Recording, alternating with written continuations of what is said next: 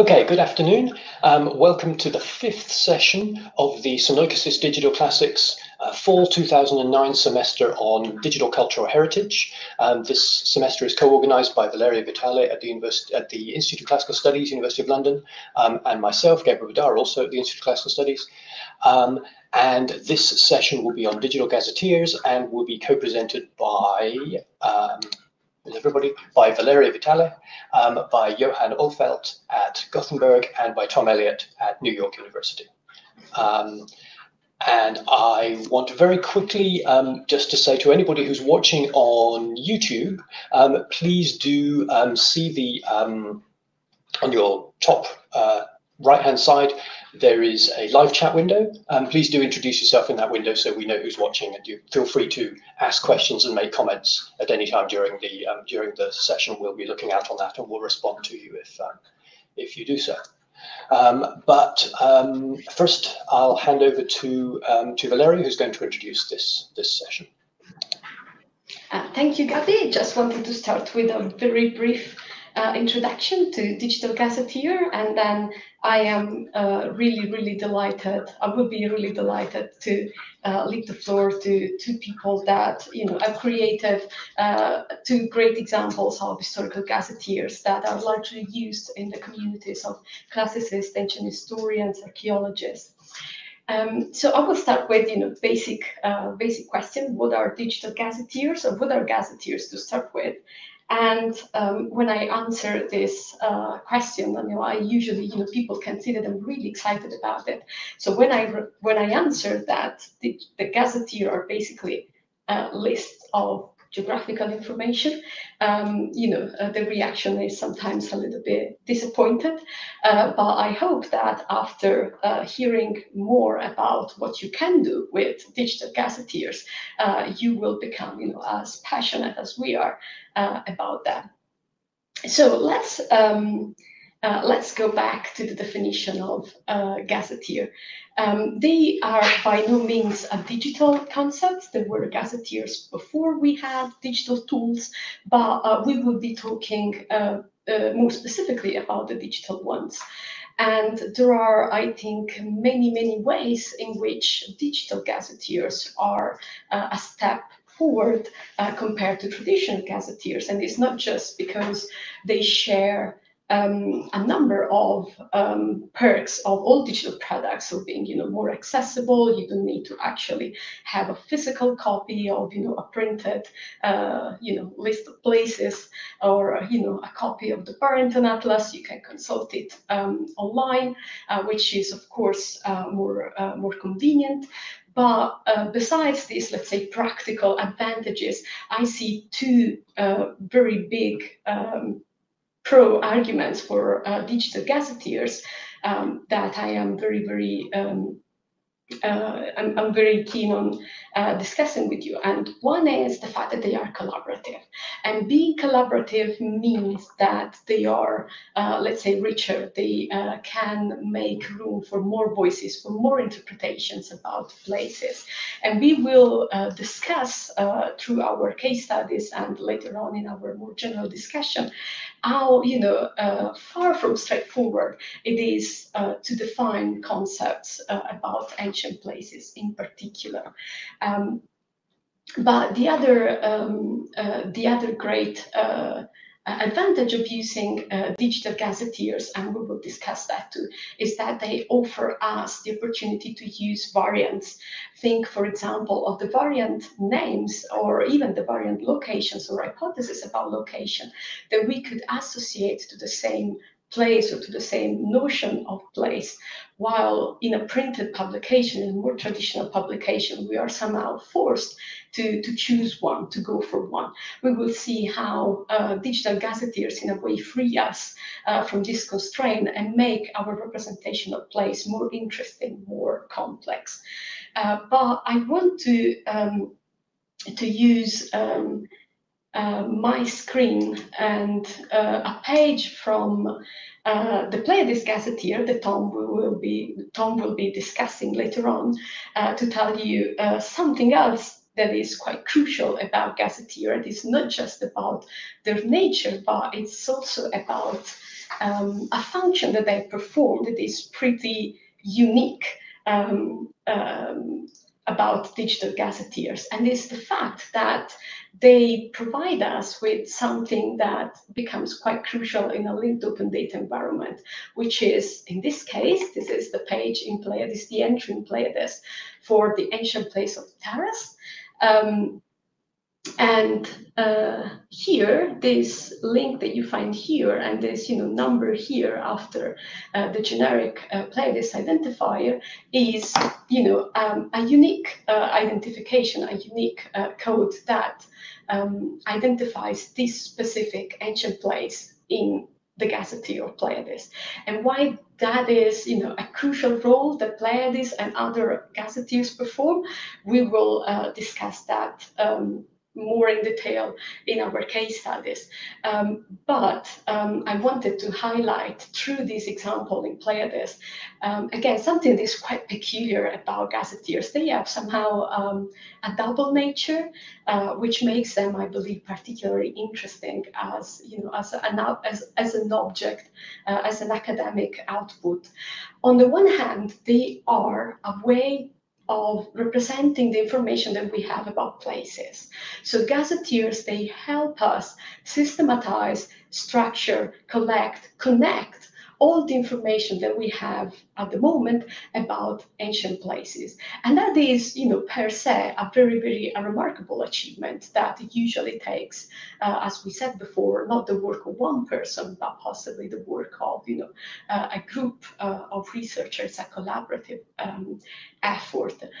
But uh, on the other hand, digital gazetteers are also a digital infrastructure. And providing us with these stable identifiers that identify uniquely, uh, they're called URI, unique resource identifiers, identifying uniquely in a machine uh, readable uh, format, a format that a machine can understand that a reference to a specific place, they play really a crucial role in the linked open data environment. And we will see uh, examples of that in our, um, in our case studies. Um, modeling the information that we have about ancient places, as we said, uh, as we mentioned before, is not straightforward, but it is incredibly fascinating.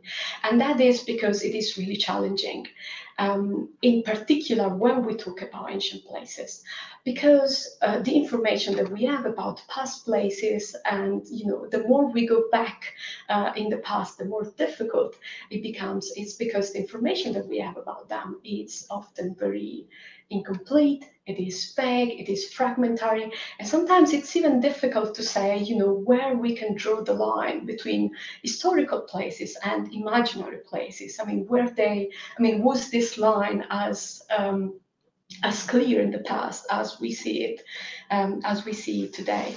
And gazetteers force us to think about this, to think about our ideas about ancient places, to think how uh, about what are actually the sources about the information that we have um, about their locations, about their places, about their connections.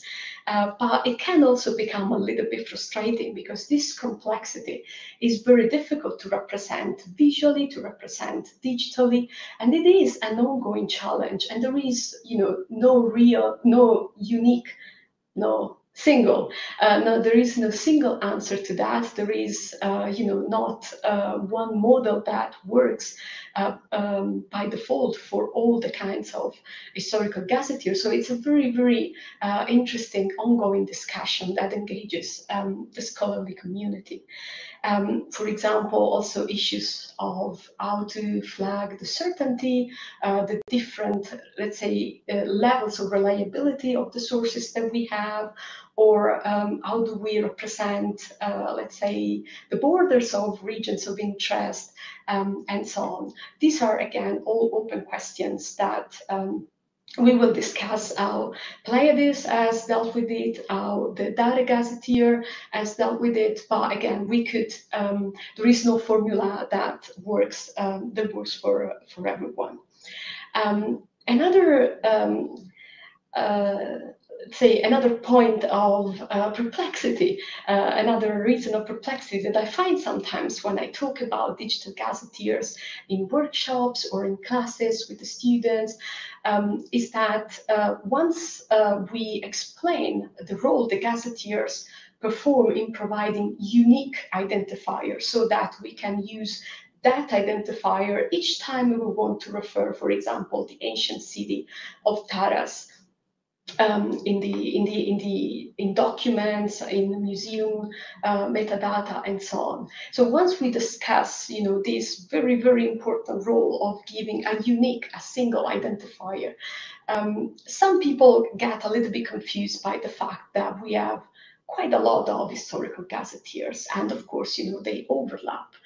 And the reason why uh, this happens and the reason why it is you know perfectly uh, you know reasonable that this happens is that our world is actually really complicated and uh, it would be absolutely impossible to have a single gazetteer that deals with you know uh, information from um, about every point uh, on the globe at any point in time from a number of perspectives.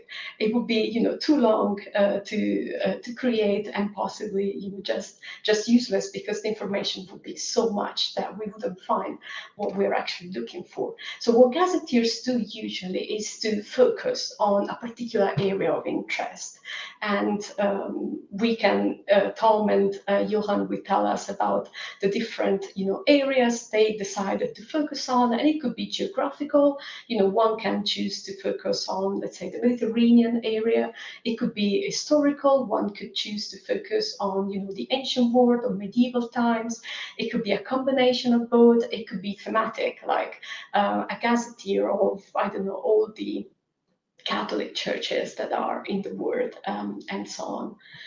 Um, and just to uh, give you uh, an idea of uh, why we have different gazetteers, and that is because we have you know different perspectives about uh, even places that are, if you want, geographically located more or less at the same coordinates, but they're not conceptually the same place because we are not thinking about them uh, in the same perspective. I just want to show you uh, this sort of the same place, uh, the, the, modern city of Taranto, in another gazetteer. And this is the GeoNames gazetteer, which is a contemporary uh, gazetteer.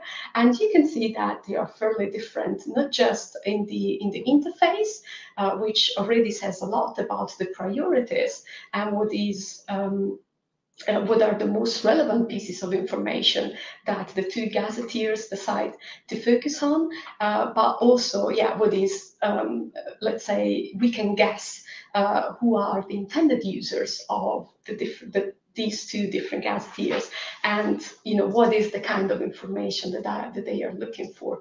And it would be useless for geonames for example to uh, tell their users that Taranto used to be called Neptunia. That's not relevant uh, to, to, to them. It's not relevant to, to the users of geonames.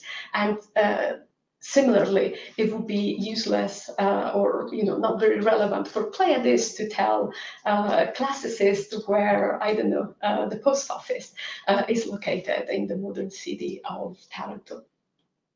Um, one last uh, point that I wanted to touch briefly is, uh, or better introduce before I let uh, Tom and Johan uh, tell us more about their gazetteer, is uh, how we can use uh, the identifiers and the information provided by gazetteers in digital culture heritage uh, context and how they can become a very, very powerful way of aggregating information that are in uh, for example, in different collections, in different digital repositories, in different uh, digital archives that were created separately and independently, but how through the use of gazetteers we may be able to connect them. And I think that I have spoken way more than I was uh, intended to, uh, so I, will stop here and um, uh, leave the floor to uh, Tom. Yes. I, I think I'm next. Is that is that uh, everyone else's understanding? Yep. Okay, thanks. Uh, so, hi everybody. Thank you for joining us, uh, either uh, live or on tape. Um, I'd like to take a little bit of time to talk about the Pleiades Gazetteer of the Ancient World as, uh, you know, as a um, as an artifact and an example of the kinds of things that Valeria was introducing. Um, I'll pop up the homepage here.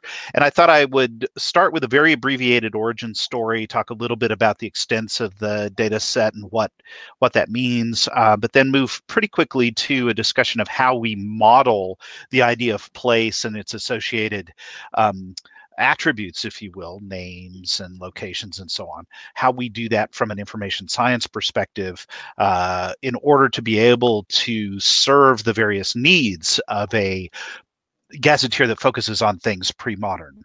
Um, and then we'll talk a little bit about how uh, Pleiades comes to be and how it continues to update. Um, and uh, then we'll transition to a presentation by Johan uh, concerning the DARE Gazetteer, um, which is a you know a long time sort of uh, both collaborative collaborator and foil to uh, what Pleiades does, and has its own um, specific set of missions that it is meeting um, that are complementary to ours. And so uh, the origin of Pleiades uh, dates back um, in various ways to the early 1980s, but I'm going to leave behind the earliest history and focus uh, primarily on uh, really starting to build the thing that you find on the web now. Um, the ideas for it began to take shape in 1999, 2000, 2001.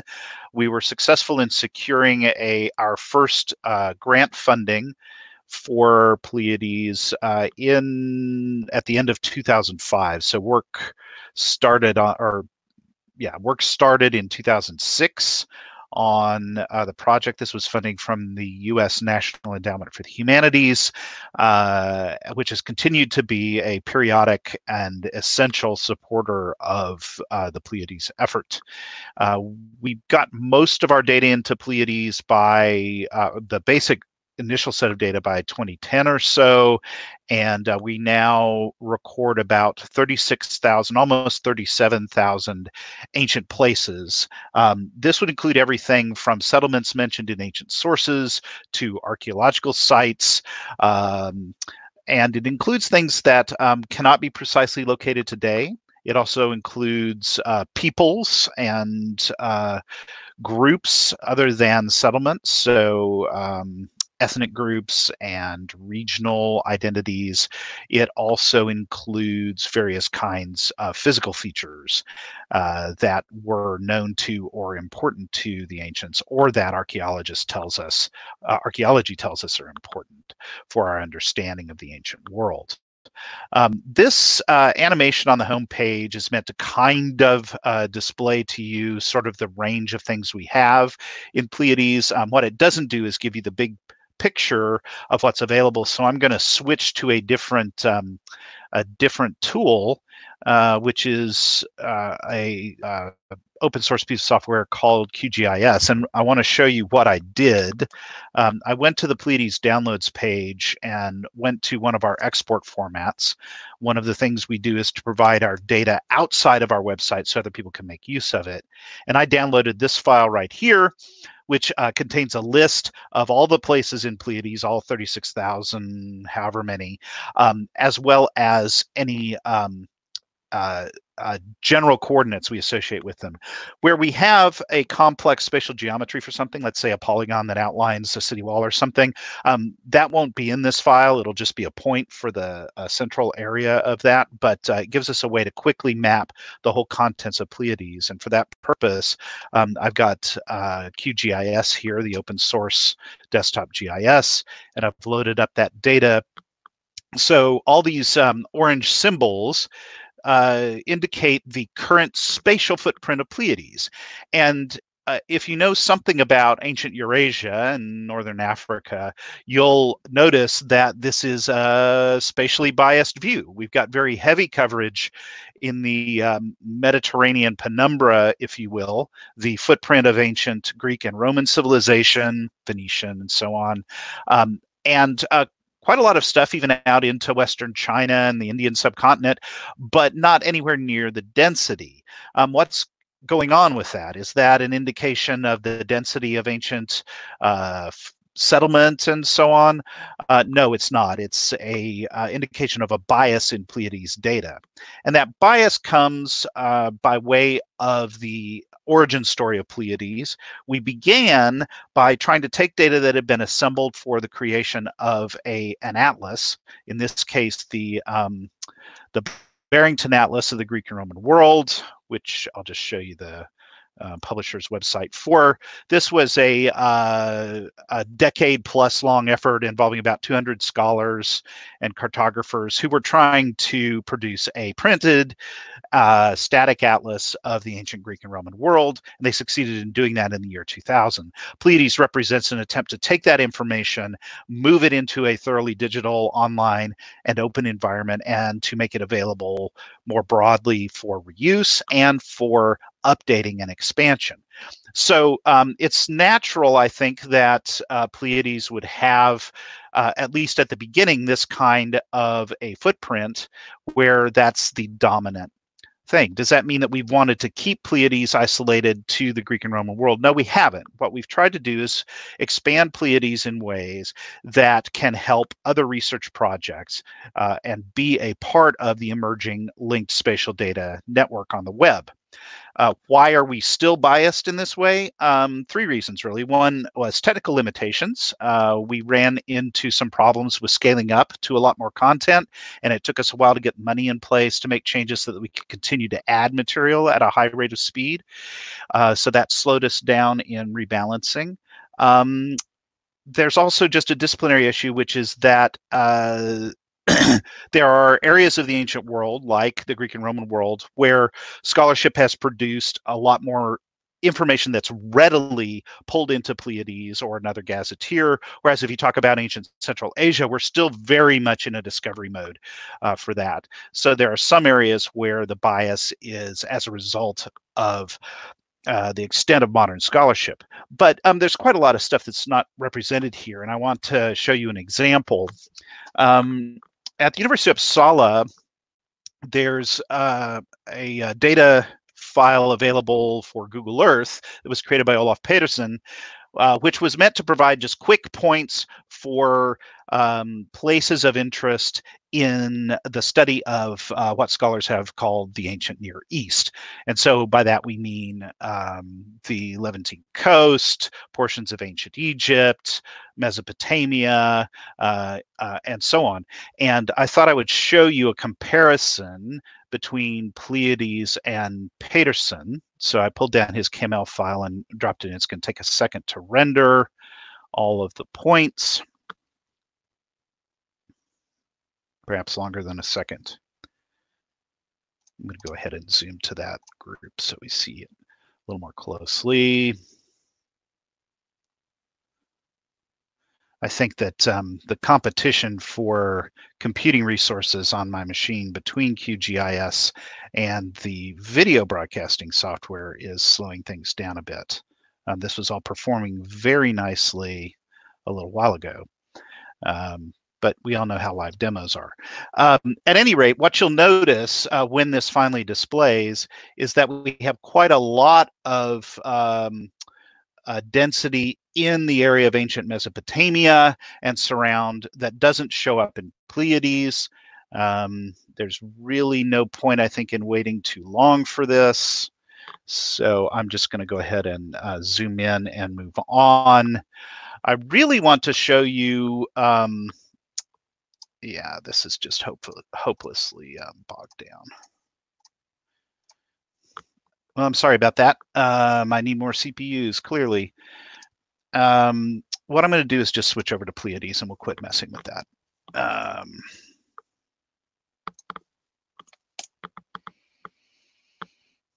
anyway, you have you have an idea of the footprint of Pleiades. We're trying to rebalance that. Um, I wanted to give you an example of what our content looks like in Pleiades.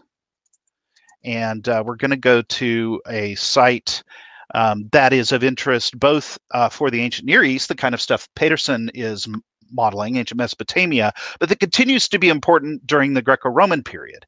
Um, so this uh, is a site that appears in Pleiades um, from the Barrington Atlas data on because uh, it is a scene of interaction between the ancient, you know, the remains of ancient Mesopotamian culture and Gre Greek and Roman culture beginning in the Hellenistic period uh, uh, uh, extensively. And, um, but what you see now on the Pleiades page for Nineveh is a collection of information that's drawn uh, drawn in um, both from the Barrington and then subsequent additions by uh, contributors to Pleiades. Um, I'll point out a few things. Uh, this summary here uh, was written by uh, Jamie Novotny, uh, who works uh, for the chair of Ancient Near Eastern History in, in Munich.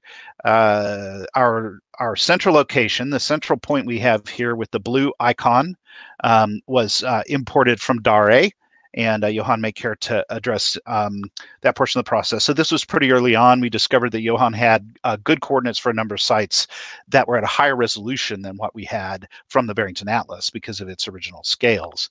And so um, uh, we worked with Johan to bring some of that material in. Uh, we have several of the ancient and modern uh, names for the site of Nineveh recorded. Uh, they've come in from various uh, contributors. We can look at the Turkish one, for example, and see that's one that uh, Jamie also gave us. And, um, and he cites places on the web or in print where that Turkish name comes from we'll skip this business of connections for a moment and make the point that we do have a typology of sites and uh, we can have one or more references that provide additional information about Nineveh. Uh, in the particular case of Nineveh, uh, we're very well equipped in that regard. Um, we trace back ourselves to the Barrington Atlas, but we also have a number of other resources. Wherever possible, we link to these online um, so that you can uh, either go to the site itself, in this case, um, Brill's uh, New Pauly has a reference, and if your library subscribes to it, you could read what they have to say about Nineveh here. Um, but we also link to Wikipedia, and um, if it's something that's just in print, say this book by Oates, we take you to a bibliographic reference so that you can try to find that work in your local library. Uh, if you want it. We also relate ourselves to ancient to other gazetteers of interest. Um, uh, I note here that actually, though we have um, borrowed and credited a uh, a bit of geometry from Johan. We haven't actually linked across in our uh, related references to the DARE entry for this particular item. So that's a deficiency in what we have going here.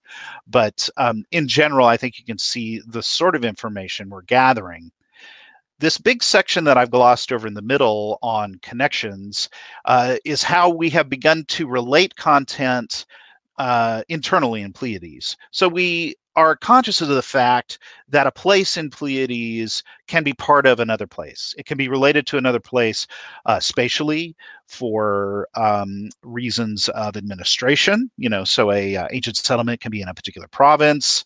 Uh, just in terms of regional geography, the ancients may say that a particular settlement is in a particular region. And uh, these connections are a mechanism that we are using to begin to model that in Pleiades. We have a large number, uh, in the case of Nineveh, we have a large number of monuments and physical components of the ancient city that are related to Nineveh itself um, as parts, as topographical components of the place. And um, a lot of this is work that the team at Munich has been doing. Uh, they're using Nineveh as an example of what we can do with this. And this is represented on our map. Uh, if we zoom in a bit, and I'm going to choose a um, higher resolution footprint. So this blue dot is the point that we originally got from uh, DARE years ago, and these green icons represent the um, connected separate places that um, Munich has given us that um, are part of this place, this larger place we know of as Nineveh, and we can click right through them in Pleiades to see what they are. So in this particular case, uh, this is one of the gates in the northern wall of Nineveh, and uh, it has its own uh, location. Uh, it has its own um, toponymy, its own set of names, and uh, its own connections, one of which is the one that uh, gets us all the way to Nineveh. Uh, I believe this is one that is part of um, the outer wall, for example, uh, also itself a component of Nineveh. So um, we are, I don't want you to assume that you'll find this rich a level of connections uh, within all Pleiades data, but this is where we are starting to go with the data set, and it's one that makes it possible for us to begin to do things like um, express the um, location of a place, not just in terms of a point useful for putting on a map with a lot of other points, as we did at the beginning, but uh, as a footprint, as a set of connected other places. Um, and that footprint could vary depending on the type of connection we're talking about. You know, we have this topographical notion that walls and gates and monuments are all part of the, the civic um, architectural infrastructure, but we might well be able to begin to talk about footprints that um, are related to other kinds of, of concepts, nearness, connectedness, um, um, uh, shared language, lots of other things that we might begin to model either in Pleiades this way or in another project that takes uh, Pleiades data, combines it potentially with that from other gazetteers, and so on. So that um, that in a uh, too short amount of time uh, to explain fully is the footprint, if you will, of Pleiades, its basic structure, um, you may have gathered that uh, we have the option of leaving out locations entirely. We have the option of leaving out names entirely. This lets us address, uh, in the first instance, places that are mentioned in an ancient source or an early modern traveler's um, document, but that we can't locate precisely today we can uh, take those and use connections instead to say, well, we know from the ancient source that it was between place B and place C. So we can hook up those connections and get a general idea of the location, or we might know from another ancient source that it was in a particular province. Um, conversely, uh, we might have a place that's entirely unnamed, but that shows up in uh, modern archaeology. So we don't know what its ancient name was. It may not have a modern name today. It may only have some nomenclature that the archaeologists or a cultural management entity has assigned to it. You know, site Q733. Um, Pleiades can absorb that kind of information as well and begin to relate it also to this other sort of material. So I think I've gone on for about uh, 13 or 14 minutes here, which is bringing me close to the end of my allotted time. I do want to point out to you a couple of things uh, in Pleiades that will give you an idea of how things come to be.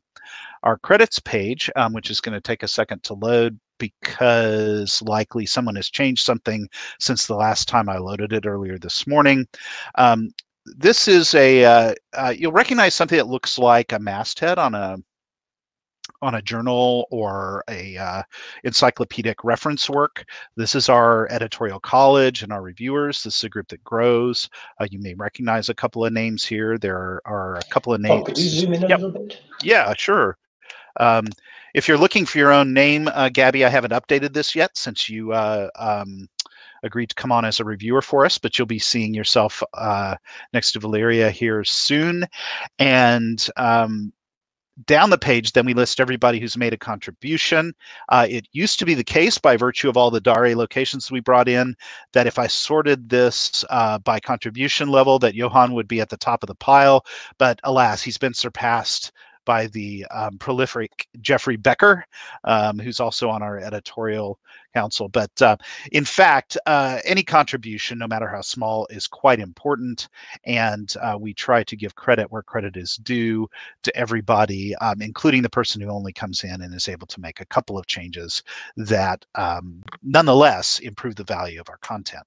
I don't have time to show you how that process works, but we have a web mediated process for logging into Pleiades, uh, suggesting changes to content or creating new content that then goes through a review process and is published to the web uh, when it's reached the end of that review process.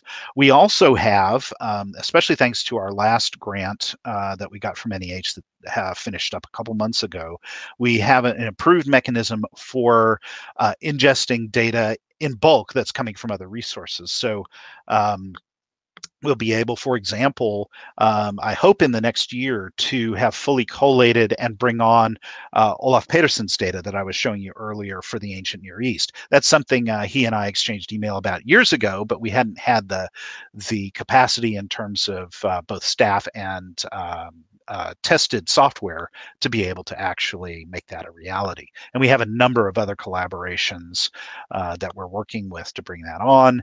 And we're um, using that same set of software to begin to um, uh, do a better job of cross citation of the other gazetteers in our field, which include the um, digital gazetteer of the German Archaeological Institute, uh, Vici.org, uh, the Trismegistos gazetteer, and um, Johan's uh, DARE gazetteer. And with that, I'd like to turn the discussion over uh, for him to lead. Okay. Uh, hello, everyone. I'm Johan Åhlfeldt. I work at the Center for Digital Humanities in Gothenburg, and which is quite a new assignment to me. I've been there since the 1st of March. Uh, and eventually I will move the my digital atlas to Gothenburg uh, so I could continue to uh, maintain it for the future. Uh, we, and with all the infrastructural muscle that the university has, we have agreed uh, upon doing that. But I'm going to uh, talk about uh, the digital atlas of the Roman Empire, which I, is abbreviated as DARE or something like that. Depends on the mood. Um, and uh, I think I will start my uh, my slides, um, and then uh, in the end of the presentation, I will come back to the uh, to a live demo, uh, just like Tom did. Uh, yeah, let's see now.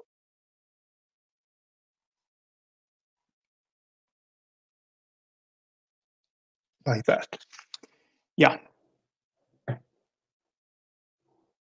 Um, I would like to start to, to say, um, to explain a little bit what DARE actually is, because it's not a gazetteer from from its out um, outline. It, it, started off as a geographical information system uh, of a historical uh, context, which is the Greek and Roman civilizations. But uh, during my work with this, I um, I focused a little bit on the Celtic uh, pre-Roman civilization of France and uh, middle uh, the mid-European continent, which was important to me, but I will come back to that in a bit. But of course, it is also a gazetteer uh, in in um, in the way that uh, it lists all places uh, that are known to this um, application within the Greek and Roman civilization sphere. It, it is because of this, uh, as it started off with the geographical information, it, it, it is a gazetteer with a dual interface. Uh, you can access uh, the information both from the side of the map itself, but you can, of course, also do uh, searches for ancient and modern names, which appear in the backend database. All data from the gazetteer is also machine readable and it could be exported. Uh, and it's it's a matter of fact that you can actually set up a copy of the whole site uh, and well anywhere in the world because everything is free. Uh, so the interface of the digital atlas looks like this. It's a background map to the left which I made from open um, sources, uh, you can say. It's uh, everything from uh, a, the, the, the topography is from the origin of, of that layer is from the uh, data from NASA, which have a digital elevation model of the entire planet. And then you can apply different uh, techniques to make uh, hill shading and uh, color reliefs of the um, topography. Uh, to the right, there is the um, input-output uh, part of the application, where you can use, whenever you click on, on a map, on, on a point uh, on the map, uh, information will appear to the, to the right. But you can also do uh, searches for names and you will, so this is what I meant with uh, this as a dual interface. And there are also additional maps in this interface so that you you you are you could be you are able to study how a uh, ancient site looks uh, from the sky from with satellite photos. How how did it come? Uh, how come I started to develop the digital atlas of the Roman Empire? Well, I found that there was a lack of a digital historical information system of the Roman Empire on on the um, on the internet when I started this in 2012, I think. Uh, uh, yeah, the whole thing was um, was finished by 2015 uh, when there was uh, this first version of the map.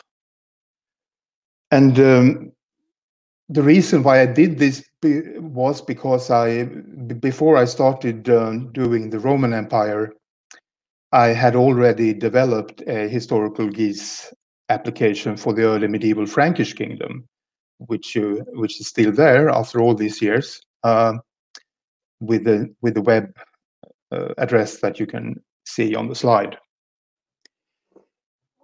Uh, from my experience with the early medieval Frankish period, I when I saw the Barrington Atlas for the first time, I was a little bit disappointed because of the outer provinces.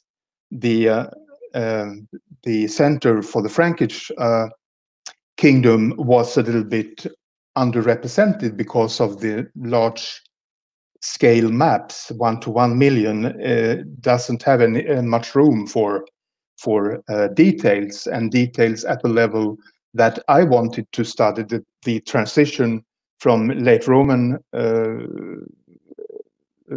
from the late Roman period up to the early medieval uh, period.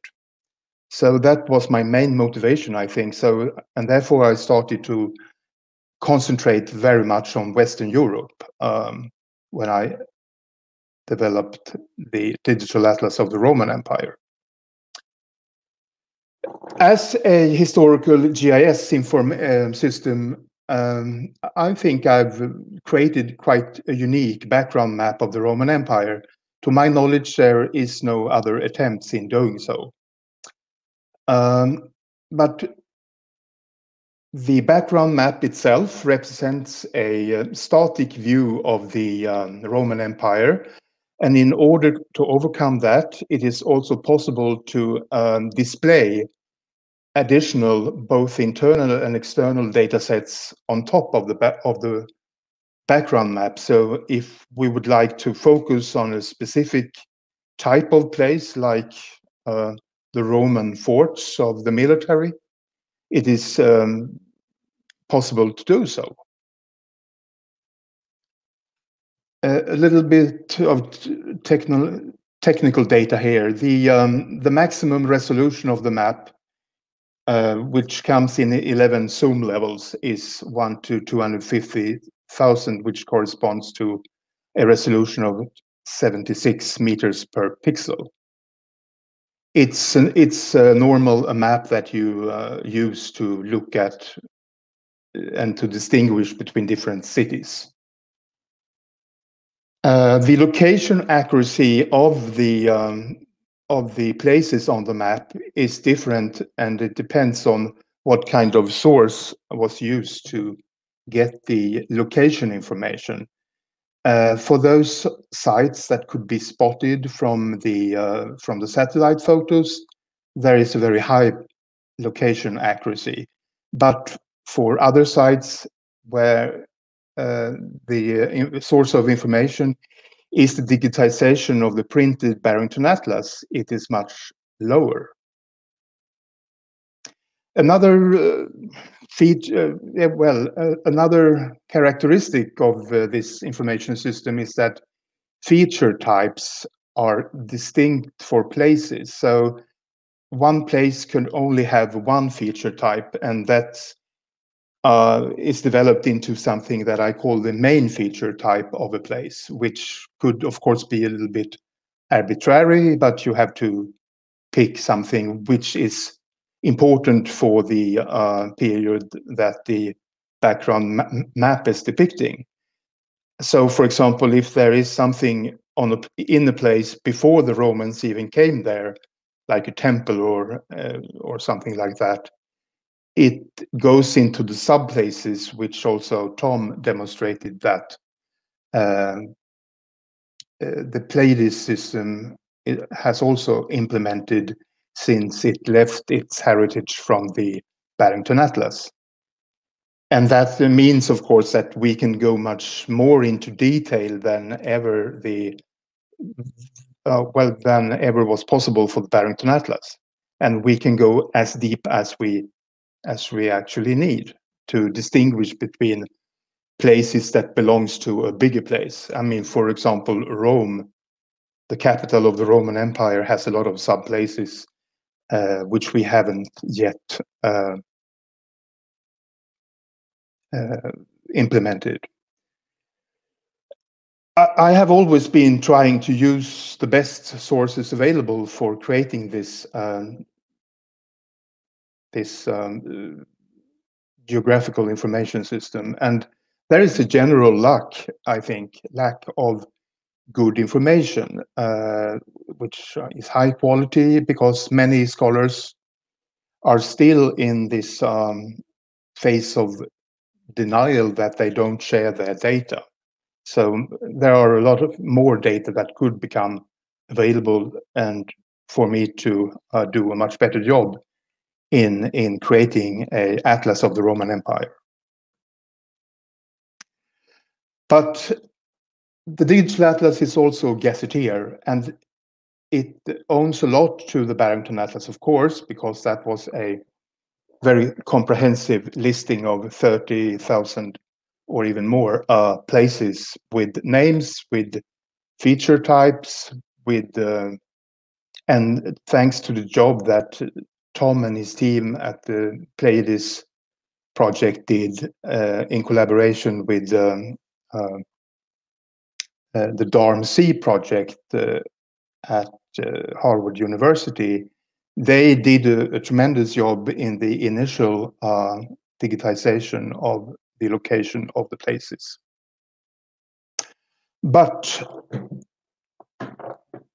the DARE uh, gazetteer is also something else. It is an expansion of the Barrington Atlas uh, for the initial purposes that, that, I mentioned, that I was interested in having a much more uh, detailed uh, map of, of what was going on in the western part of the Roman Empire to study the, transi the transition into the uh, Frankish uh, kingdoms later on. So I added a lot of places, um, and there are actually more than 7,000 additional sites, which is not uh, on the Barrington Atlas. Special focus for me has been uh, during this process of work has been to to align um, or the my sources of information has been any kind of national cultural heritage sites listings that each nation of Europe provides. Uh, yeah, and there was also, as I mentioned earlier, a emphasis on the Celtic civilizations prior to the uh, Roman conquest of Gallia. But this means something uh, as well uh, as a downside of it all. I omit I omitted a lot of sites uh, with uh, especially water features, which are very hard to uh, to uh, accurately and uh, represent as points on a map. And I also omitted a lot of information about the groups of people that uh, Tom mentioned earlier. Uh, and that is because the uh, historical GIS system, which focus on the map, actually needs precise locations. And the map uh, works like this. Um, from the beginning, in an outzoomed um, view of the map, only the major uh, sites are visible. And then by zooming in the map, uh, more and more uh, feature types becomes visible on the map. And at zoom level 10, all, all places in my gazetteer are visible. We can skip this one, I think. I adopted a lot from from the Barrington Atlas, for example, the way of of uh, treating uh, place names uh, and also a bit of their uh, their concepts. Color schemes I've I've adjusted a little bit so it uh, stands out on a digital screen, but the principles behind the, the place names on the map is the same as in Barrington Atlas. And I also used uh, uh, th this kind of, of um, ancient naming, uh, which re reflect the kind of sources that are behind the map.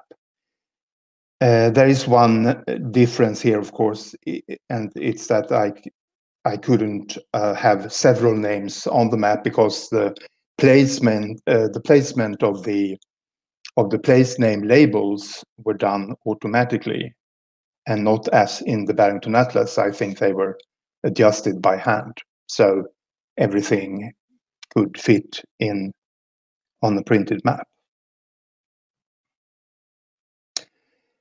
I put a lot of emphasis to the modern names um, because uh, it's a way of referencing what kind of locality we are actually talking about. So at the lowest level, there might be a site name, but it doesn't need to be. And a site name could be something that the archeolo archaeologist will come up with. But there is a specific, and the nearest hamlet or village might be a locality that is referenced.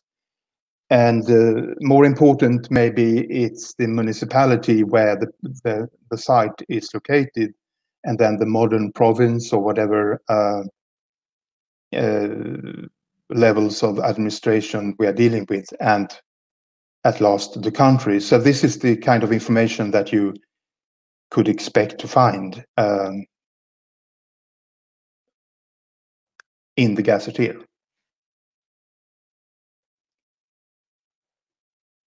Yeah. And now we are approaching a little bit the uh, aim of, of why we create a gazetteer in the first place, because in GIS, we could have several separate data layers, which we could uh, uh, put on top of a map, but the different places in that, in the different layers are not aligned by other things than the coordinates. And if the coordinates are not exact, uh, it's very hard to tell that uh, two points actually represents the same place. And uh, to overcome this problem, um, by creating a gazetteer, we align data, which could be uh, source material in various, like well, both archaeological sources and written sources. And we assign uh, them to a gazetteer entry. Then by doing this, we can ensure the identity match across source materials and across gazetteers.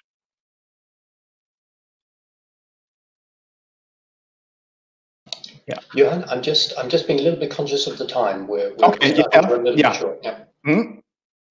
But then I um, I continue with um, the linked open data and semantic web technologies. Uh, by saying that uh, we have put a lot of effort in aligning our gazetteer to each other. And in the Pelagios project, uh, for example, where people with uh, source material could align uh, their data to one or more of the gazetteers in the collaboration.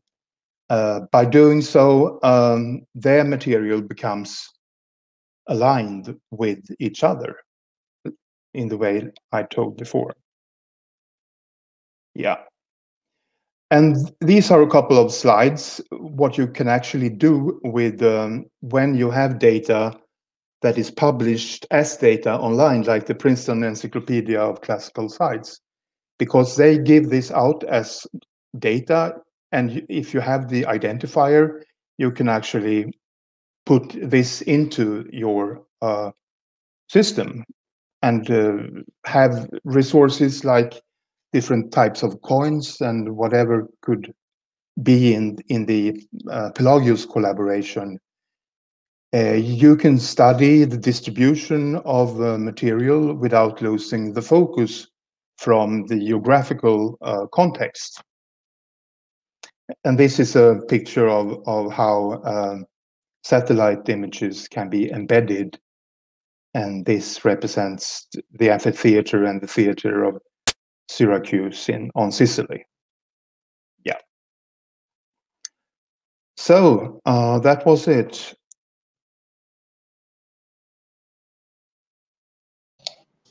Okay, should we hand over to Valeria?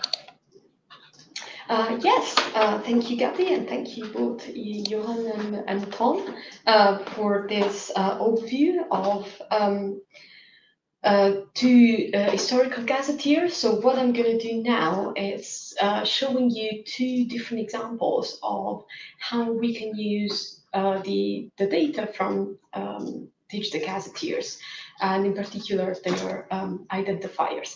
And one example is going to be the one that Johan was mentioning. Um, actually, both are from what Johan uh, was mentioning, which is the Pelagios project. That is the, the project I, um, work uh, with. And uh, one will be uh, an example of connecting existing data, and one will be an example of creating annotation and disambiguating them through gazetteer um, identifiers. So um, I want to show you um, uh, the first of these two examples. Um, it's um, uh, I'm going to spend only two minutes about this, and um, it is um, a visualization uh, linked open data engine, a map-based one, and its purpose, it's called Peripleo, was developed by uh, the Pelagios project, and its purpose is actually to show what happens when a number of separate institutions, you can see uh, the list here, uh, contribute their data, data that have been produced uh, separately, independently, but the, the thing that these, uh, these data share are um, that they have both been expressed in the same standard format, that is uh, linked open data, and that they all use the same references when they talk about places. And what generates, I'm just going to give you a very quick example. Uh, this is, uh, as Johan mentioned, um, data about coins, for example. Uh, we have uh, a very rich um, database about coins. Uh, we have a more than one actually database about coins as contributor uh, in this project and you can see how data coming from four different archives uh, can all be located uh, on the map automatically. This is an API, uh, thanks to their, to their standard references to places through either Pleiades or the direct gazetteer. And um, you can filter by time and you know play with it. Uh, uh, have go. Uh, it's it's online. It's free. It's called um, it's called Peripleo.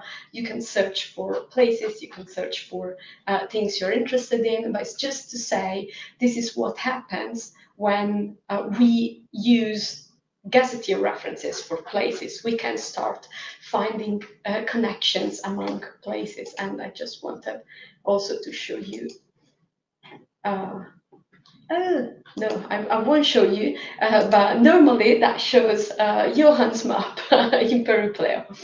Um, the second part of what I want to show you today is um, another product, another tool developed by Pelagios that is actually an annotation platform that is called Recogito, or uh, you can choose how you like to pronounce it. I go for Recogito, um, and I will show you how to use gazetteers to create semantic annotations. And because today it's Halloween, enjoy the Halloween um, homepage of Recogito that our developer uh, Rainer has created uh, for, for this week. Um, so you can create um, uh, an account and log in. Uh, in the GitHub page, you will find a quite uh, detailed um, tutorial for Recogito. So I'm not gonna demo um, a lot about Recogito because uh, I don't want to go into uh, all the functionalities of Recogito also because we wouldn't have time for that. But I want to give you a little bit of a taste of how to use um, gazetteers basically. So um, in Recogito you can annotate um, text documents, image documents, and um, uh, tables of data uh, in particular formats. You'll find all the information in the um, uh, in the tutorial. Uh, but let's open uh, a document that I have prepared, and let's change the order so I'll find it. I'll find it more quickly.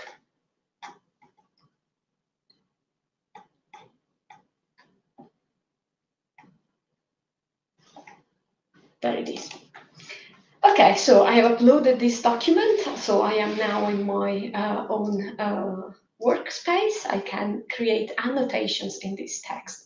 And that means that I can uh, select um, um, a word or a portion of text. In this case, if it were an image, a portion of the image, and I can create an association um, between this part of my document and something that is outside my document, something that helps me to disambiguate the reference in the text and um, use a standard way to do so. So for example, let's go practical.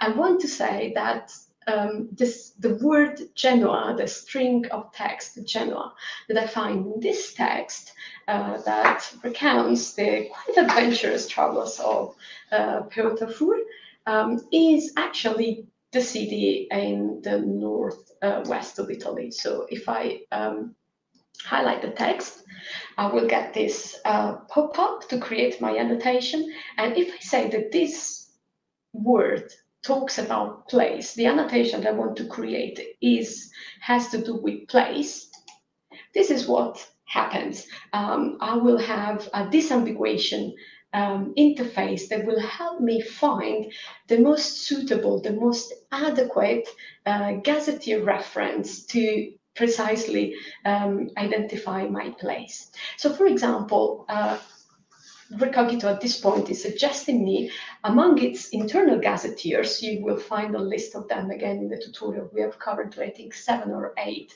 and both Pleiades and DARE uh, are part of it, um, as well as GeoNames, which is the contemporary one that we mentioned at the beginning. Um, it's suggesting um, Genoa uh, in GeoNames. Uh, now let's start with this uh, with this conceptual uh, problem right now, um, which is the fact that Genoa, as it is defined in GeoNames, is the modern city of Genoa, uh, which is maybe not the most adequate uh, match for what I want to talk about, which is this, uh, let's say, early Renaissance Genoa. And to be honest, Pleiades isn't either the most um, suitable reference, but it's up to me what I want to, um, what I think it's more convenient, what I think it's more appropriate. Um, I can choose the gazetteer that I want to use. I can also mix and match them, and um, the rationale of this um, of this choice is really uh, very much related to um, to my research question. So in this case, I would choose um, the Pleiades one uh, anyway. You see that I can recognize what is the gazetteer that we're talking about. It's definitely not Genoa in the United States uh, from its icon and uh, the green G is for geonames, the blue P is for Pleiades and the orange D is for DARE. And as Johan was saying, the fact that Pleiades and DARE are, you know, uh, in the same basically suggestion means that they are aligned so that there is um, an information, a, meta information that says that the um, identifier in Pleiades and the identifier in DARE are the same thing or almost the same thing. Um, let's just choose one and say, okay. Now, uh, because uh, we are exploiting all the, you know, all that machine can do for us. So let's make the most of the automatic annotation as well. So one function that Recogito has is to reapply the same annotation to the other occurrences of the same word or you know, string of text. Uh, do we want to reapply this annotation? In this case, I would say yes, but um, bear in mind that is not always the best option. Okay, so you see that now we have um, a few words uh, highlighted um, in green. Another thing that we can do, uh, let's quickly find another, okay, another place here, Cyprus. And just again, place, yes, no, not in the Roman province, maybe. Uh, maybe in this case, let's choose the geonames one. We can also use comments and tags to enhance our, um, our annotation. And for example, I can't use the tag island. It's not a very smart tag, but that's the best I can think of right now. And there are also comments that we can use either to respond to each other annotation because uh, more than one user can annotate the same document at the same time and can um, comment on existing annotation. Uh, so we can say OK. If we reapply the annotation, you will see we are reapplying the tag as well. But again, there is more information about the various options, including the advanced ones, in the um, in the tutorial. Okay, now let's leave our friend um, uh, just for the moment because I want to show you something else um, that is um, this one. Okay, in this case, um, you see that in this text there are okay some words that have been highlighted um, in gray, and they have been automatically produced by uh, Recogito's NER. Uh, which stands for Named Entity Recognition, and it's an algorithm that parses the text and tries to identify uh, place names and person names. In the case of place names, also to create an association with one of the available uh, gazetteers. It is another option that you have, especially for long tests. Um, the green one that you see are those that have been actually uh, checked and verified by me, while the gray one, uh, like this one, uh, are automatic. And you see that there is a warning sign that says uh, automatic match. And in this case, for example, do we agree or do we want to change it? Well, in this case, as we are working with Thucydides, uh, okay, um, we definitely don't want Athens and Geoname, but we want uh, we want a more ancient uh, version of it. Okay, now that you have seen the basics of uh, how to create um, a geographic annotation in Recogito, you can also create non-geographic annotations, but uh, for this class, we're very much focusing just on the uh, geographic ones. And um, actually, uh, there was another thing that I wanted to show you um, about Okay, that was the file. Um, let's go into the map view. So one of the things that we can exploit gazetteers for um, when gazetteer have location information, and it, doesn't need to be, you know, a very precise coordinates location, uh, but, you know, also a generic location would be um, enough for us to use that um, to use the annotations that we have created to disambiguate the references into text to generate a map and to generate a map that actually has a strict um, um, as a strong relationship with the text because if we click on the map, we see where the annotation comes from. And we see also that, you know, the, the size of the dots on the map uh, is different and that depends from the relevance of the place in the text. If for rele if we take number as an indication of relevance. So the more, um, uh, the more often a place is mentioned, the bigger is uh, its dot on the map. However, I zoomed on this, I wanted to visualize this map because I wanted to show you um, something that is wrong. And that, again, uh, I wanted to use to highlight the fact that it's really important when you create, especially when you create your visualizations, to choose the gazetteer that is uh, most adequate um, to the kind of analysis you're performing and the kind of text that you are analyzing. And if we bear in mind that this is a representation of visualization of the places mentioned in Thucydides, we should be uh, struck by the fact that Italy as you know modern state uh, with this uh, border and uh, Sardinia and Sicilia uh, uh, attached to it, it was not a thing in the time of Thucydides. So uh, this visualization is possibly not the best one. But one thing that we can do is go back to our text and change the gazetteer that we have chosen, not geonames. Let's go back and let's choose something else for uh, Italy. Uh, if we can't uh, actually find the one that we're looking for, that's because Pleiades acts up with the English name of Italy. So, but this is another tip actually for when you're annotating. If you don't find um, the right gazetteer match in uh, in the interface, one thing that you can try is to hack a little bit the search field. So try with another spelling of the name that might be more uh, familiar to the gazetteer. So let's try Italia, and here we have Italia as um, an ancient area uh, related to uh, the Mediterranean. So not uh, the modern state nation, but an idea of, you know, let's say the Italian peninsula. So let's select that now. Let's change uh, all the mentions of Italy and let's go back to our map. And we can see that that's, you know, quite disturbing uh, borders of Italy has disappeared. And we just have now a generic center point just to tell us, okay, there are two mentions of Italy um, in, this, in this text.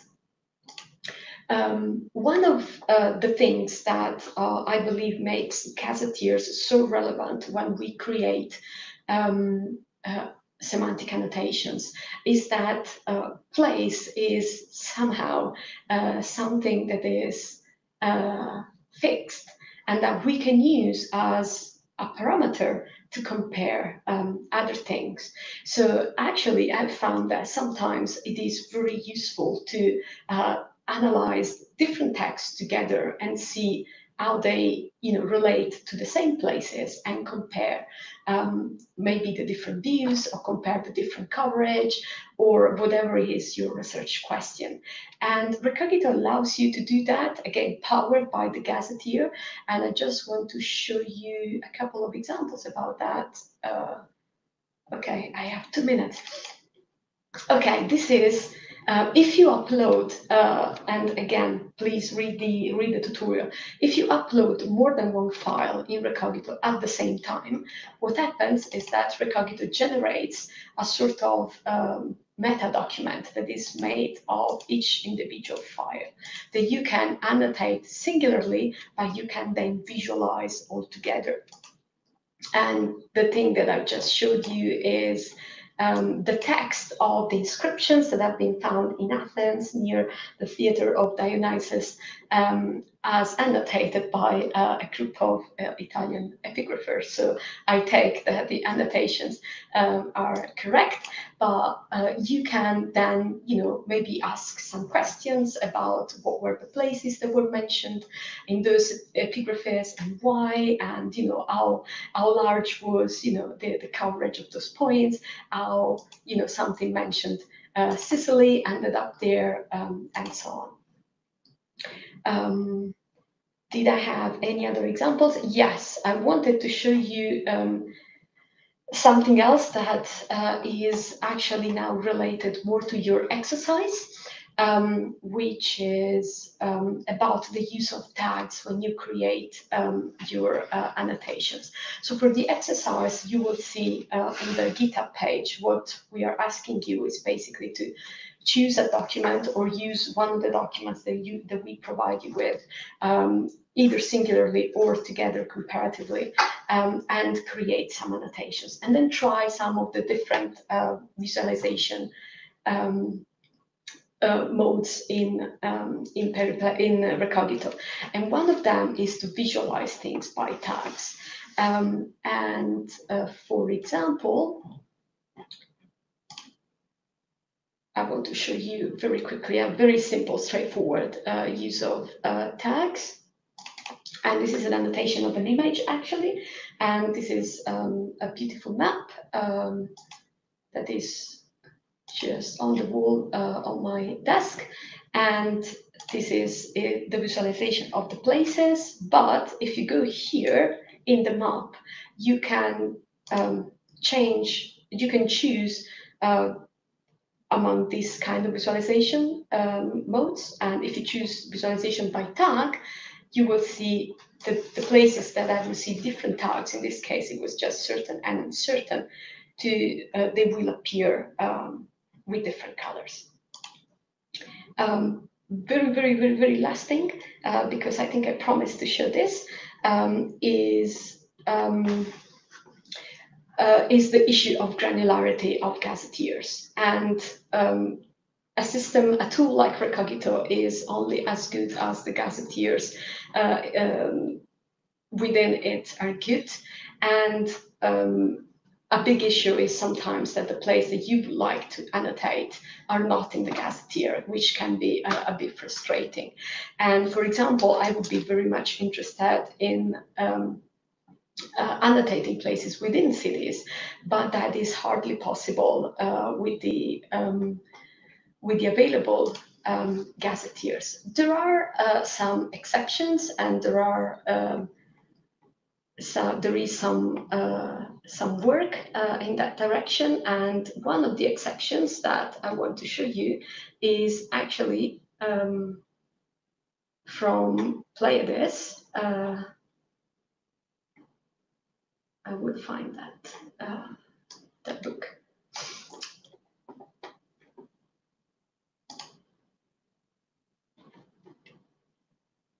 Is it this one? No.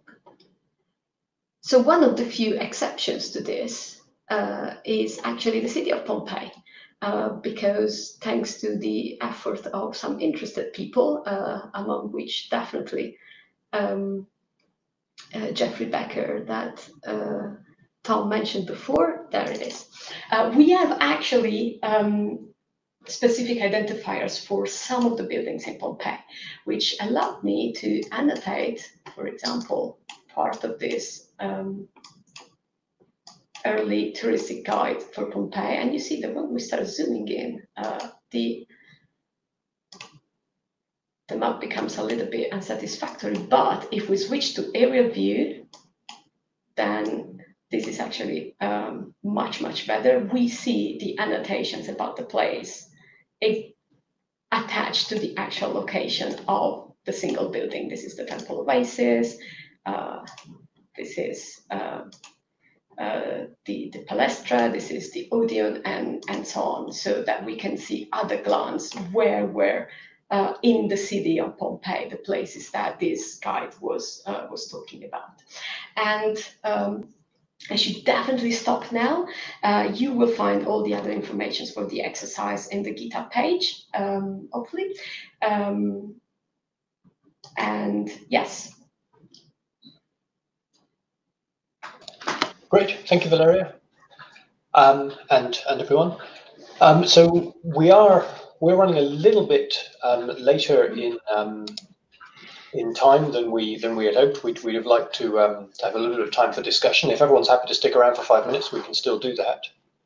Um, I've now got put us back onto split screen so um, we can see everybody we can all interact with each other. Um, there are still um, about half a dozen people watching this live, so maybe maybe we'll see questions appearing in the in the live chat window. I'll encourage anyone who's watching, please do um, leave questions there if you want. But otherwise, does anyone want to to bring up any questions or, or comments um, for for each other? I I would like to um, ask something on behalf of you know the students and the people that are watching uh, to Tom uh, specifically, and if it is okay, if someone has a specific interest uh, to contact you guys at Pleiades and saying we would really like to work on this area, let's say, or, you know, um, having, we have a specific interest. Can we organize something about it? Can we organize a sprint or even if, you know, they just created their their account would that be okay yes absolutely um, this is uh, this is the way we've worked with a lot of people um, the pompeii uh, collaboration that you were describing um, we have a, um, a group of people who work with the Ancient Graffiti Project who've been doing similar work on Herculaneum.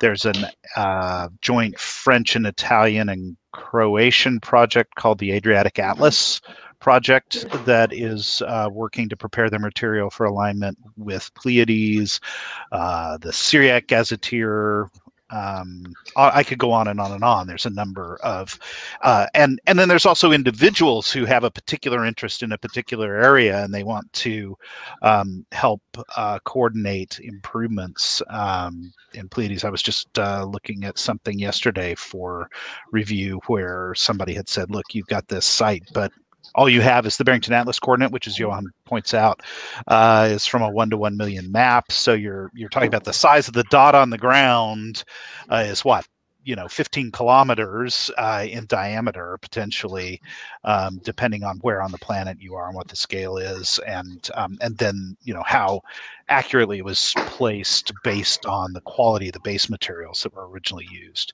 in the um, in the compilation. And so um, you know and he was able to say you know look here it is you know right here and here are my coordinates for it that i've i've drawn. So yeah uh, we we very much welcome everything from the large research project wanting to collaborate with us um, uh, essentially exchange citations effectively, um, but also to serve both those projects and individuals as a, um, a venue for publication of spatial data that otherwise would kind of get you know lost or swept swept uh, under the rug on the way to a research paper or or something like that. So yep, very interested in having those folks. Great. We have a question from YouTube. Uh, Osama Gad um, has been specifically asking Valeria, um, does Recogito work with um, Arabic text, Arabic script? Um, yes, so um, I think there are two levels uh, of answer here. And one is about the automatic annotation. So the, the NER, the, uh, the possibility to parse uh, the text uh, and identify automatically with, you know, not perfect, but an acceptable uh, degree of success, um, the place names. Um, that at the moment, um, uh, we only have algorithms that are trained on five languages, uh, which are uh, English, French, German, Spanish, and Latin. Um, so we don't have um, we don't have an algorithm that has been trained on Arabic yet. But uh, talking about the manual annotation, so you read the text, or you know you look at the images, the scan of the papyrus, and you identify um, uh, the place name. Uh, in that respect, Recogito is agnostic and it works with uh, all sorts of alphabets. It has been used with the Georgian alphabets. It has been used used with Russian. In that respect, it is agnostic. It is um, the, the third thing is that it depends if the Arabic name uh, shows in the gazetteer or not, because you may, and I had this problem a lot when I was annotating uh, maps with um, Arabic or Turkish names, that Pleiades wouldn't recognize the, the, the transliteration of the place from Arabic. So I had to, uh, as I showed before, I had to actually, if I knew another name of the place that was more, uh, let's say, more recognizable for Pleiades, I would have to use that other name to find the reference.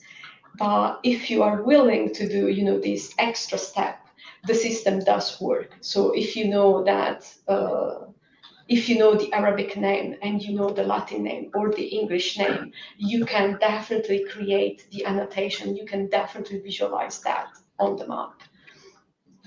Or if by chance Pleiades were to ingest a few thousand Arabic names, that might, you know. That's also a possibility. Yeah, which which uh, people which people here have been involved in preparing the data for, and uh, we're we're zeroing in on it. Yes, I, I note I note I note the jab. Yeah. Um, so Osama has another question. This this may have um, also may have several levels to it, maybe slightly more complex, which is could one use Recogito with um, the marked up corpus of papyri? I presume he's talking about papyri.info. Um, um, well, that uh, I'm not sure because I don't know the corpus very well. I don't know in what um, what kind of uh, format we're talking it's about. It's TEI XML, okay. um, mostly Epidoc. Okay, but the places are already marked marked up or not? No. No? Okay. So Recogito actually does they ingest TEI? They are in standoff, standoff markup. They will be, okay. they will, they, they, will all be identified in the Trismegistos database, but that doesn't, that doesn't necessarily help us with okay. this task. No, that definitely uh, you can upload um, TEI um, to Recogito and create the place annotations and then re-download as TEI again something might be lost in the process. but the place well, and they're and they're heavily marked up, so yeah. Okay. Mm. Mm. Well, I guess um, it, it's a matter of what do you prioritize.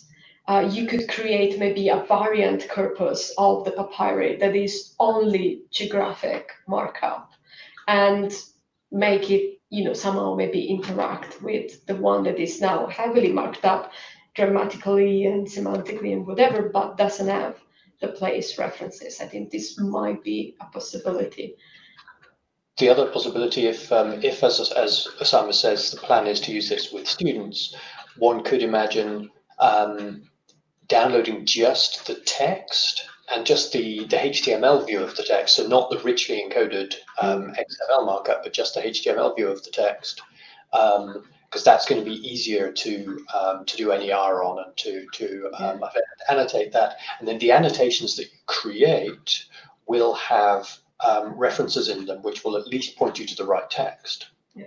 Um, and so you could you could do that annotation in Recogito, and when you download the data, you would have the visualizations of the geographic um, distribution of, um, of the references in text and all that sort of thing would still be there. This this wouldn't be information which would then go into papyri.info, but it wouldn't anyway because they couldn't take that sort of information.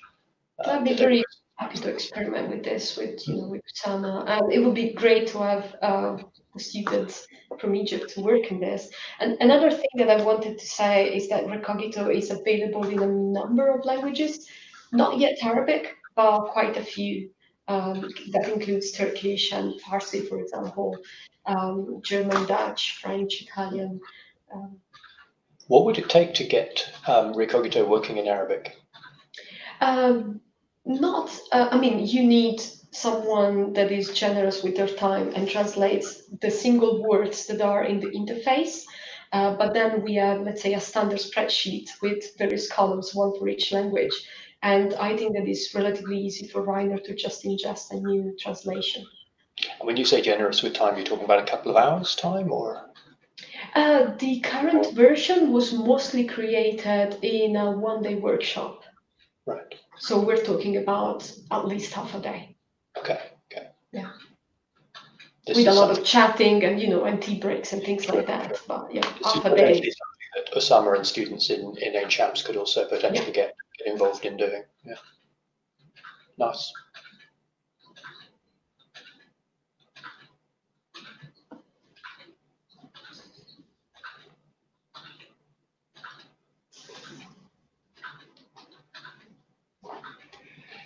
Cool. Anyone else have any burning questions or comments you want to ask of each other or Well, I, I wanted to mention to Johan that um, uh, this uh, the software that I'm I've been working on for doing um, uh, repeated uh, collation tests and so on. So it's um, I think the the first batch of data I brought in with it was from Topos Text uh, here a couple of months Mhm. ago. Uh, but um, I've been working on it to make use of the DARE API uh, Okay. for for checking, you know, for basically checking things and Mhm. and looking um, uh, looking for stuff that we need to reference that we're not referencing and so on. And uh, it seems to be working great so far. So I appreciate, you know, not only the open uh, the open data but the API uh, Mhm. because it makes it you know makes it easier to do. Yeah. So- And and I um, Brady Kiesling, the the the guy behind Topos Text, has Yep. given me um, his file of uh, the ToposText places at least. So Mhm. I think I aligned you them. should um, you should be able to find in our data um, references to ToposText for all of the places that um, first he identified as being corresponding to Pleiades Mhm. and that secondly our algorithm um, accepted as unpo- unproblematic so we did a yeah. we did both a um, toponymic nearness test Mhm, mhm. and a proximity spatial proximity test and just lock stock and barrel put those in there's others that are on a list that he and i need to check um, to make sure that we don't have you know some Mhm. overlap or or a doublet or something but um uh, but so you know if it helps you in any way that stuff's in our data now for the ones that we're confident uh, you know that both he and i are confident mhm. are right um, and so you could you could trust those i think y- Absolutely. I mean, he has uh, access to topographic maps uh, uh, on a very detailed uh, scale uh, for the entire Greece that he bought Yes. uh, in in the bookstore. So, and that's a, a resource that I never had. No, for- he's for- done. for Greece. Uh, yeah, he has. He has assembled for himself uh, material that he Mhm. Bases his work on. That's um, that's really valuable, and uh, he does a ton of work. He's a really sharp Yeah. guy, and he's Yeah. he's very busy. Mm. Um, and uh, he's you know he's done us all a tremendous service, and he's Mm. he's bringing in you know for some of the places in Greece really interesting descriptive material from sources that um, none of us Mm. have no, uh, you know ha- have connected to. This is independent of the ancient stuff, but modern descriptive yeah, yeah, stuff yeah, I know. yeah. um, of the sites. That's really um, yeah. I'm saying this mainly for the benefit of the audience. Um, that's really valuable. And so, if you don't know ToposText and you're interested in the Greek world, the ancient Greek world, you definitely should check it out. It's a it's an incredibly valuable resource and one that um, we owe both Brady and the foundation that's supporting him uh, on it uh, a lot of gratitude for. And Johan will have seen uh, that um, uh, Anna and Elton uh, in Ymir, uh, they created a local version of Recogito uh, with underlying uh, data from ToposText to annotate places within Yeah. Athens. That is really, really Mhm. exciting. And I think you you, you worked on that, uh, Johan, too. Yes, I did, but uh, I've I've uh, I've left the project now because of my Oh, okay. workload here in Gothenburg. Yeah. Yeah. there were no other uh, possibility than doing that. But I know, for example, that the National Archives of Sweden is also very interested in uh, implementing a version of Recogito on their Mm. service because they are working on a gazetteer of medieval settlement names Oh, of yes. Sweden, which uh, they uh, uh, finds very valuable for uh, the future and to align all kinds of historical re- research with this gazetteer.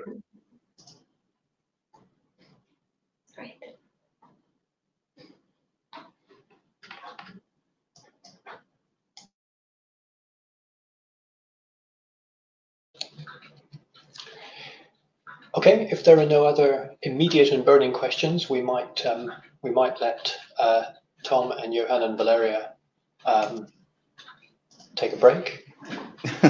um, thank you all again very much for your contribution, um, and Eleonora, of course. Um, um, uh, thank you very much, and um, yes, and, and to the um, to, to viewers, see you all next week, where we will be talking about linked open data with um, myself, Matteo Romanello, and uh, Paula Granados. So, see you all. Thanks, everyone. It's been a pleasure. Yeah, thank you. Bye bye.